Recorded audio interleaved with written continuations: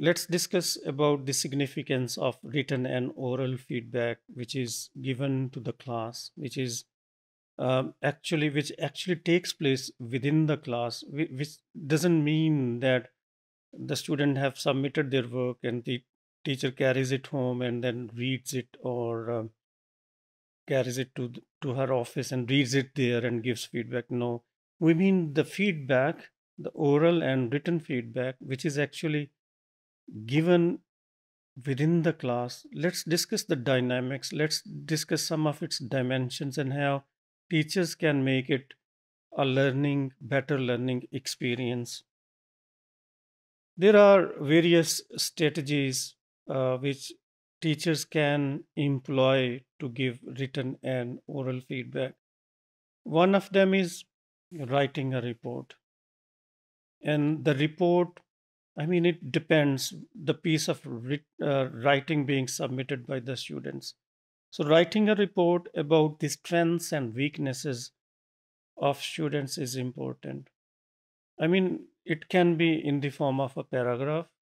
It can be like given to a group of students or a combination of students. I mean it depends what sort of students are there and what sort of genre they submit for uh, for assessment.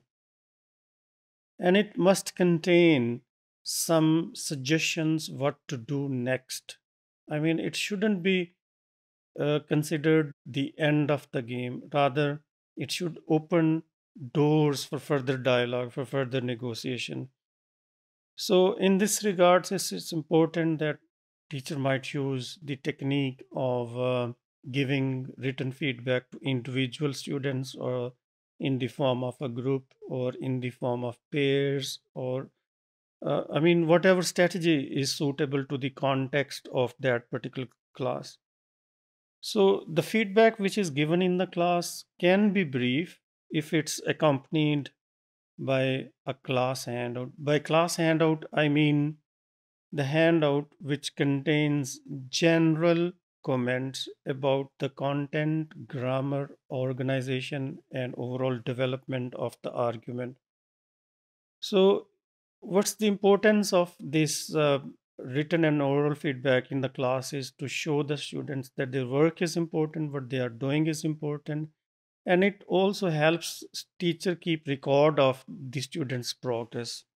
So, these strategies uh, include sometimes uh, us giving awarding grade to the students, but if the grade is given, um, it should be accompanied by some formative comments. The formative comments not only should um, justify the award, uh, grade awarded, but also construct the students in terms of what to do next.